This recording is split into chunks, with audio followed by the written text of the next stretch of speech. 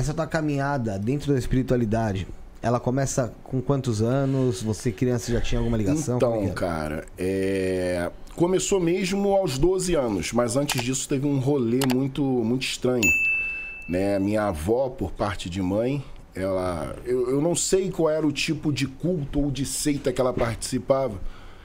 É, E minha mãe engravidou de mim muito nova, com 16 anos e tal, e ela não aceitava essa gravidez, enfim, algumas coisas aconteceram ali. E eu cresci ouvindo aquela parada, eu cresci não, né? Depois dos sete anos foi contado muito essa história, de que tinha sido feita várias paradas para eu viver até apenas os sete anos de idade. Tipo, Não. demandas? É. Por esse caminho, Tá. né? Coincidentemente ou não, faltando dois meses para eu completar sete anos, eu tive um acidente na qual eu perdi esses dois dedos aqui, onde caiu uma porrada de ferro em cima de mim. É, eu faço aniversário agora, dia 28 de fevereiro, né? Isso foi no dia 31 de dezembro. Foi no Réveillon, assim, acabei com o ano novo da família, né? Por seis anos de idade Criancinha. né? E aí começou a respingar algumas coisas, não em mim, né? Mas algumas coisas começaram a aparecer no meu pai, na minha mãe, e isso até então nada. Eu estudei no Salesiano, né? Desde o jardim de infância até eu me formar no antigo segundo grau, colégio de padre, né? Aí dali eu tinha do- de 12 para 13 anos. Eu cheguei em casa, eu lembro que eu lanchei e comi um doce de abóbora. Depois desse doce de abóbora, cara, não foi doce de abóbora, não, Aham, tá? É tá. só o que aconteceu antes. É, eu tive uma crise de ansiedade muito forte. Que hoje a galera toda tem, mas isso há 25 anos atrás, difícil os médicos né? nem diagnosticavam É difícil direito. identificar. É, só que era uma, uma crise de ansiedade que ela me contraía da cintura para cima. Rosto, eu não conseguia falar. Todos os meus músculos ficavam muito enrijecidos, né? E por conta dessas crises de ansiedade, é, eu fui parar no centro kardecista, lá na Marechal Rondon. Não lembro o nome da rua agora. Fiquei lá dos. Vamos botar dos 12 e meio aos 15. É, nessa mesa de Kardec ali começou a acontecer coisas extra Kardec, mesmo comigo muito novo, começou a rolar Seu Yanuma, que é o caboclo que eu trabalhava em Umbanda na época, trabalha até hoje, né? É, porra, Preto Velho, Seu Tiriri, Exu, tudo isso começou, meu desenvolvimento mesmo foi numa mesa, numa mesa kardecista. É, e com isso, com a chegada dessa galera, eu obrigatoriamente tive que migrar para Umbanda, né? Onde eu fiquei quase 27 anos. Fiquei quase 27 anos na Umbanda. Ainda na Umbanda, eu procurei a nação de Queto, fui raspado em Oxoguiano, Candomblé. E hoje a gente está aí, cara. A gente teve alguns contratempos no meio do caminho e hoje a gente está aí no CME, no caminho da mão esquerda, servindo a Lúcifer, servindo a luz e amando aí as nossas sombras aí, que a minoria das pessoas fazem. Então, Bion, você é luciferiano, trabalha com Goetia, mas você ainda, ainda frequenta algum templo de alguma religião? Não, não. O único templo que eu frequento hoje é o templo de Lúcifer e Asmodai, onde é, eu Então não tem culto a Exu ali, não tem nada. Cara, então, vamos lá. É, dentro do templo de Lúcifer e Asmodai, tem uma parte chamada o trono de Tiriri. Que eu trabalho com o seu Tiriri desde os meus 13 anos de idade, né? Então a gente, além da Goetia, a gente mexe também com Exu e Pombagira. Só, mais nada. Então é como se fosse uma quimbanda ali. É, é uma quimbanda. Mas é uma quimbanda fechada. É uma quimbanda para os adeptos do Templo de Lúcifer, entendeu? Não é uma quimbanda. Nenhuma quimbanda é aberta, na verdade, ao público, né? Mas a nossa ela é mais restrita ainda do que, do É o- que o padrão. É o que diferencia a a Kimbanda que você pratica, é o que diferencia ali ser mais fechada do que diferencia das outras Kimbandas que Sim, existem. sim, é porque tem muita gente que, que procura gente para fazer rituais de Goetia que tem questões com Exu e Pombagira também. Geralmente o pessoal que procura é, ritual de magia, a maioria são médios, são pessoas que já têm alguma coisa ali de espiritualidade e acaba tendo é, alguma questão ali, tendo que cuidar de Exu, de Pombagira, enfim. Né? E a gente faz essa parte também para dar esse suporte desse lado necessário extremamente aí ao caminho da mão esquerda. É, e mandar um abraço aqui pro Jorge Flores, que tá, tá com a gente Jorge na live. Flores tá maravilhoso, aqui, grande mestre querido. Jorge, beijo. Sucesso. Gosto muito do Jorge, gente O finíssima. Jorge, é gente boa, já esteve aqui e sempre. Jorge é e sempre tá conferindo aqui o- no chat. Ele interage até no nosso grupo de WhatsApp lá. É, é. gente Ele essa boa. semana ele ficou lá no direct, aí vou assistir, hein, vou estar lá. Pô, obrigado, Jorge. Obrigado, irmão. Tamo junto. E, Binho, e como é que foi essa migração aí do, do kardecismo aí? Como é que você vê esse, esse- essa sua passagem pelo kardecismo hoje? Hoje? Não, assim, eu, eu, eu cheguei a ver na época. Mesmo novo, eu cheguei a ver na época. Porque, assim, o kardecismo, ele tem umas coisas bem esquisitas, né, Bruno? Que a gente começa a ler ali Livro dos Espíritos, a Gênesis, enfim. Você vai lendo aqueles livros todos ali, o Livro dos Médios. Até aí, tudo bem.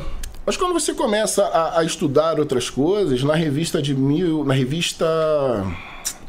Caramba, subiu o nome agora. Tinha uma revista que o Allan Kardec publicava, a Revista dos Espíritos, não.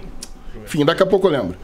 1964 ou 63. É a frenologia do povo negro. Onde Kardec coloca ali que nós negros somos seres inferiores, incapazes de aprendizado e que nós teremos que evoluir até um dia é, reencarnarmos em corpos brancos. Só essa fala de Kardec aí, para mim, já exterminou é, todo o restante. Ah, mas você não pode julgar isso. Não, claro que eu posso.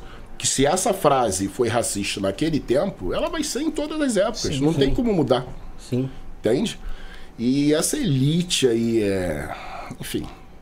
É, então, Continuemos. Porque, porque, porque você trabalhou com, com entidades da Umbanda ali, que muitas delas é, é, são, são entidades que viveram aqui na Terra no tempo da escravidão. Sim. São sim, entidades que, que foram dizima- Sofreram, dizimadas pelo povo europeu, como Sim. os indígenas. Sim.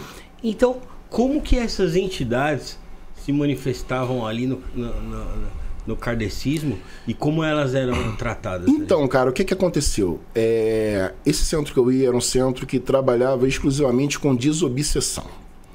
Os médios eles ficavam sentados ali em volta da mesa. Eu me lembro que quando eu cheguei, voou médio pra tudo quanto é lado. Caraca. Eu entrei pela porta, fui cadeira voando, médio caindo, assistente. Movimentou É, foi um negócio. Isso, é um, isso é um novo, com Aham. 13 anos. É, Qual foi a pergunta mesmo? Que o TDAH já me fudeu aqui. É, como que é, as entidades da, da, da Umbanda Ah, sim, sim, sim.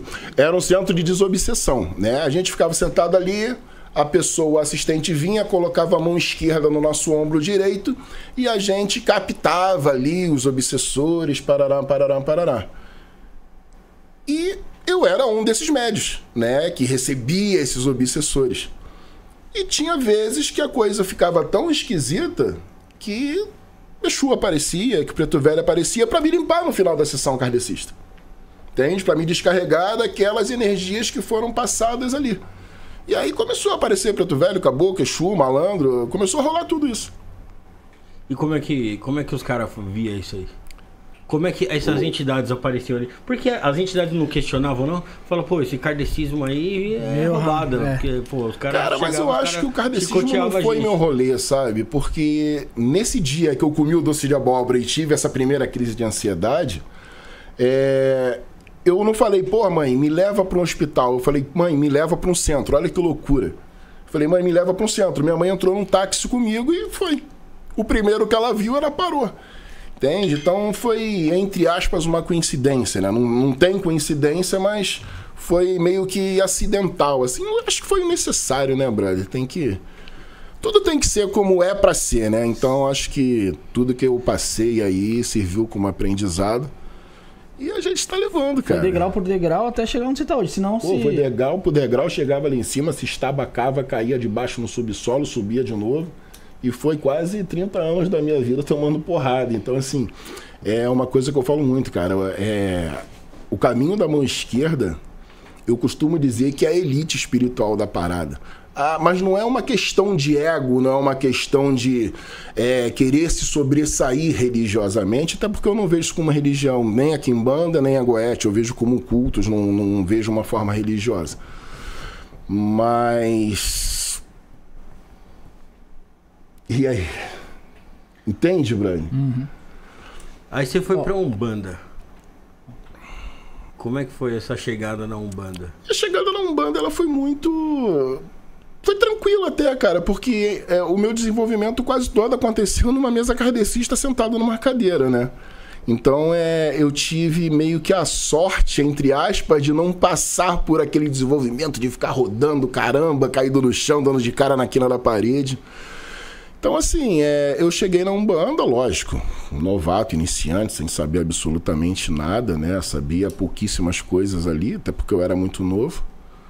Mas, assim, é, eu confesso que para mim foi muito natural, sabe? Foi muito muito normal, muito, não, não senti assim Você uma coisa. que já tava meio que em casa, vamos dizer assim. Sim, sim, E o, sim. e o comportamento das entidades, elas Mudaram. é, mudaram muito quando você São chegou as ali na mesmas até hoje. Não, mas quando você saiu do kardecismo e foi pra Umbanda, A forma a dele. forma não, deles atuarem ele Não. Mesmo no, no kardecismo ali, eles já, eles já se colocavam. Sim, sim, sim. Até hoje nada mudou, são os mesmos, os mesmos trejeitos, as mesmas coisas, mesmos, tudo. Não é porque tá no, tava no kardecismo que ele vinha mais retraído ou algo do tipo. É isso que o Rafael quer dizer, acho. É, assim, você receber um Exu numa mesa kardecista sentado numa cadeira, Pois não é, é, a então. mesma coisa. Mas acontecia, né? Como acontece várias coisas estranhas aí no kardecismo. O pessoal escuta porta bater, um toque é sim, dois toques é não. A Cara do Edu, Edu fica só me manjando. É mesmo? Tem, tem umas paradas dessas aí? Como que é essa do um. Ah, cara, tem muita historinha, né, cara? O pessoal gosta muito de contar história, de, sabe, inconsciência, esse rolê todo aí. Meio que pra justificar ali. É, o o kardecismo é muito branco, né, cara? É uma elite, assim, muito. Não aceita nada. Qualquer coisa que você vai tentar explicar já vê com uma coisa negativa. Kardec era racista, na sua visão? Porra, na minha visão, não, na visão dele, porque ele escreveu na revista dele. Tá lá, é só pegar aí o Google aí, botar Frenologia do Povo Negro, 1900. É 64, 63, alguma coisa. 800. 1800. 1800, 1900, viajei, né? 1862. 62. Só botar aí no Google aí, Frenologia do Povo Negro, que vocês vão ler aí.